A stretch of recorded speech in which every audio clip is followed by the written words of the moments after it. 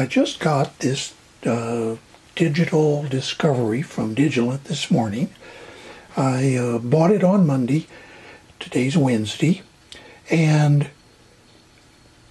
I bought it even though I already own an Analog Discovery 2 and an original Analog Discovery, which I'll talk about in a second. So you might wonder why am I buying this? What are the advantages, if any, over the Analog Discovery 2 or its predecessor? And kind of where am I going here? Well, where I'm going is I'm going to move into a phase of videos that are primarily intended for students who are doing embedded systems in their double E curriculum or their computer science curriculum where they might be using some of the products from Digilent or from Arduino or other uh, popular vendors. And so this is going to be a little bit of a rambling overview. One of the things I'm going to do is compare the digital discovery to the analog discovery 2 and when I say compare I don't mean an in-depth comparison comparison I mean just generally looking at the differences I previously have done a comparison between the original Analog Discovery and the Analog Discovery 2. I don't think that they still sell the original, so that may be an obsolete video because this may be the only one that's available. But they are selling the Analog Discovery 2 and the Digital Discovery. So, what is the fundamental difference between these two? Well, the difference is in the words analog and digital. The Analog Discovery 2 contains circuitry for testing analog circuits as well as circuitry for testing digital circuits. The digital discovery only works with digital circuits. It does not have, for example, analog scope. This contains two scope channels that can be used for analog signals. This does not. The Analog Discovery 2 also contains a waveform generator, two-channel arbitrary waveform generator that can generate analog signals, sine waves, and so on. This does not. What this does contain is more inputs and outputs, higher speed, and it is optimized for use on digital circuits. By digital circuits, I mainly mean embedded processors like the Arduino. Now, this is an Arduino Mega. You may be familiar with the Uno, which is a smaller version of this. On the right is the Raspberry Pi. This can also be used if you are taking a course in embedded systems or in embedded systems programming then you already know what processor you are using. Now, let me show you one thing, though, that you need to be aware of.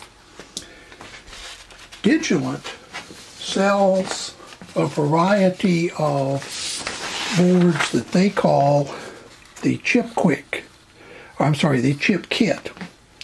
This is uh, part of the documentation for the ChipKit Max 32 you may notice that it bears a striking resemblance to the Arduino Mega that I just showed you, but it is not the same board.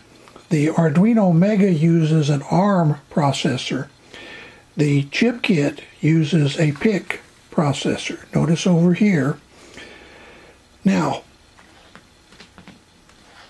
Digilent has provided a multi-program or multi-platform IDE or integrated development environment that makes this board look like an Arduino for purposes of writing and downloading programs. But be aware it's not an Arduino. So there will be times when things that work on an Arduino won't work on this and vice versa.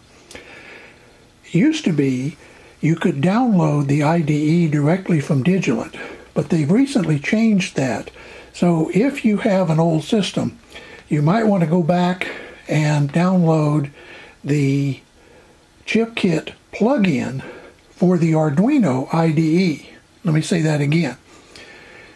If you have the Arduino IDE, perhaps because you're using Arduinos, and then you want to add the ability to use the chip kit, what you have to do is download the plugin.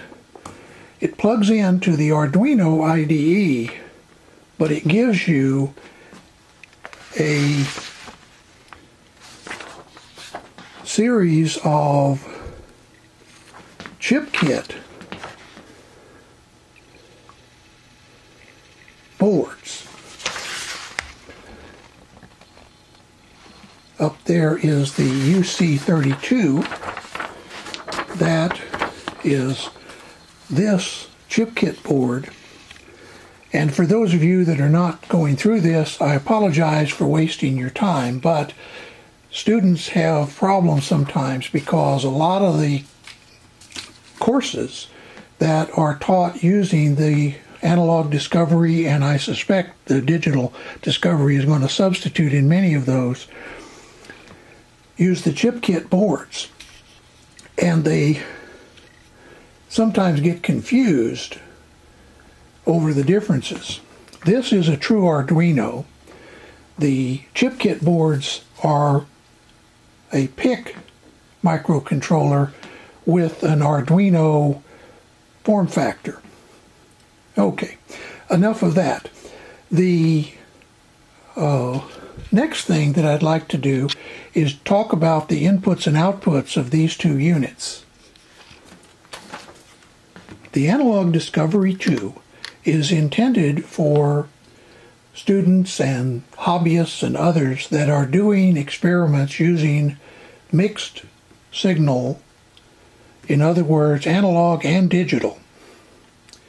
If you don't have an analog oscilloscope, you cannot use the digital discovery to work on analog circuits. So you're either going to need an additional analog discovery 2, or if you only have a digital discovery, you're going to need an analog oscilloscope. Now that can be a USB oscilloscope, it can be a, a lab or uh, so on. And uh, when I get into some of the uh, review of this unit, I'll be comparing this to a typical mixed signal oscilloscope. But for right now, let's look at the difference in the inputs.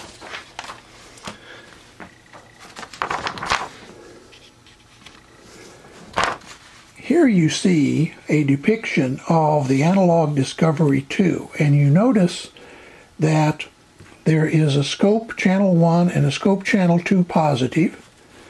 And then down here you see scope channel 1 and scope channel 2 negative, ground, and some of these others. Notice over here on the right that you have digital I.O. signals from 8 through 15 and up here you have digital I.O. signals from 0 to 7. It's this portion that is the part over here that's called digital I.O. that is contained within the digital discovery. The digital discovery has only digital inputs and only digital outputs. In general, they work at 3.3 volts. You can use lower voltages and you can set thresholds from about 1.4 volts down to whatever level you would like. But because it does not have the analog signals, notice that, for example, it has data in here, in this case data in 0, data in 1, data in 2, and data in 3, and then down here data in 4, and so on, where the analog discovery has the scope inputs and the arbitrary waveform generator outputs. So that's one of the big differences between the two. Another difference is there are two new headers on the digital the digital digital discovery. Maybe I'll just call it the digital discovery from now on. On the left side are uh, is a header for digital inputs and outputs, and on the right side is a, a separate set of inputs and outputs. Now we'll be talking more about these later. This is just intended to give you an idea of where this fits in the embedded systems coursework. If you own or have worked with or used an Analog Discovery 2, you know that it comes with, or it, you can buy as an accessory, a board that plugs in to the Analog Discovery and converts the analog signals to BNC connectors so that, for example, you can use traditional oscilloscope probes on the Analog Discovery 2. This box will not work with the digital discovery because this is an analog box. In other words, it is to bring the analog signals, that is, the inputs to the scope and the outputs from the arbitrary waveform generators, to BNC jacks. This will work with the original analog discovery. Also, there is a power supply available for the Analog Discovery 2, not for the Analog Discovery original, that allows you to increase the power handling capability of the power supplies in the Analog Discovery. That is not available in the Digital Discovery.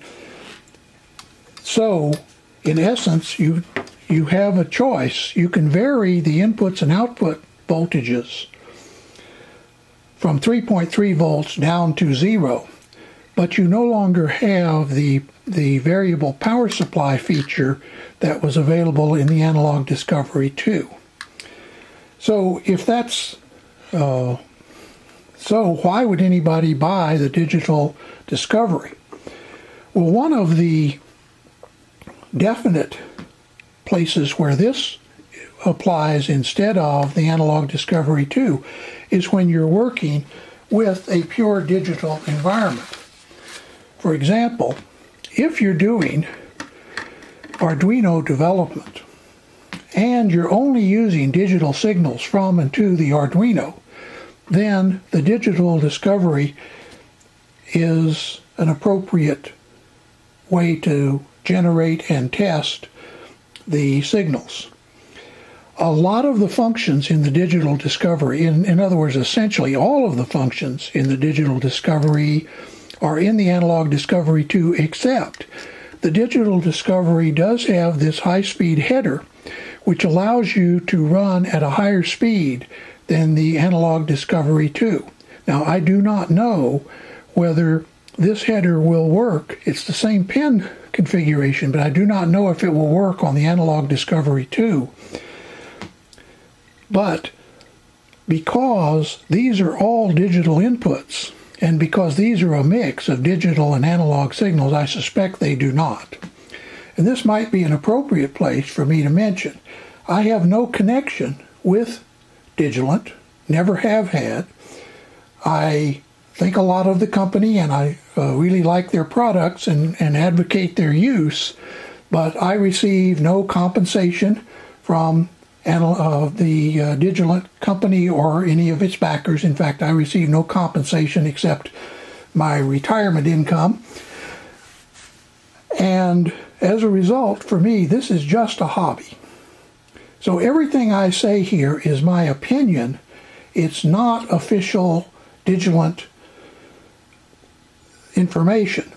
So I hope I won't mislead anybody in, in these videos. I am trying to, as best I can, tailor the presentation to work with the existing coursework, hardware, uh, textbooks, and so on that are used in various universities and uh, labs to teach embedded systems and embedded system programming. But it's simply my idea of what you might want to know or what's useful. At any rate, let's move on to something more interesting. On the left is the manager, the, the workspace manager for the Analog Discovery 2, and on the right is the workspace manager for the digital discovery. Let's take a look at some of the differences.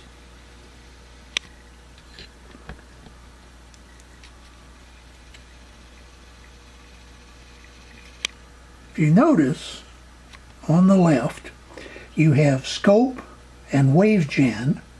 Those are not present in the digital discovery. You have supplies. Now, there are supplies in the digital discovery, but they're not quite the same. You have a logger, which is not present in the digital discovery. Then you have logic, patterns, serial I.O., I'm sorry, static I.O., network, spectrum, protocol, and script. Now, the digital discovery does not have spectrum or network. It does have patterns. It does have logic. It doesn't have I don't know if I said network. It doesn't have spectrum, it doesn't have network. So what does it have? Well, it has supplies, and we'll talk about those when we get into the review of the digital uh, of the digital discovery. It has logic. This is a logic analyzer, and here it's actually superior to the Analog Discovery 2 because it has more inputs and higher speed. It has patterns, that is the ability to generate uh, essentially arbitrary digital patterns. Understand these are not waveforms, it's not sine waves, these are ones and zeros, but the Analog Discovery 2 can also do this but it cannot do as many of them as the uh, digital or the digital discovery.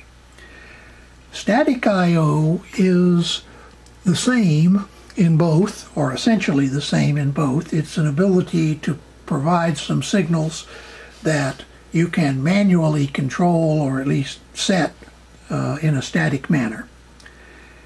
It has protocol which is also now present on the Analog Discovery 2, and we'll talk about that. This is a really good feature. What it allows you to do is both drive and monitor various protocols. So, for example, if you're trying to get a SPI device, a serial peripheral interface, to work, you can plug it straight in to the Analog Discovery 2 and using the protocol settings, you can create a, a handshake or an exchange between the two and monitor both the master and the slave in, in the process. So, for example, if you're working with things like in the Digilent world, they're called PMODs, which is just peripheral module. In the uh, Arduino world, they're often called shields or uh, sensors or other things. And sometimes getting them to work is a real problem. So the protocol not only allows you to do the monitoring, but it also allows you to serve as the master or the slave for an SPI device or an I2C device or something of that sort.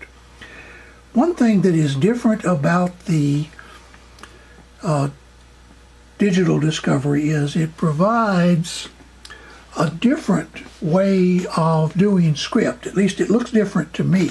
Now, I am not very familiar with the script feature on the Analog Discovery 2, but based on what I have seen, this looks like a very useful feature.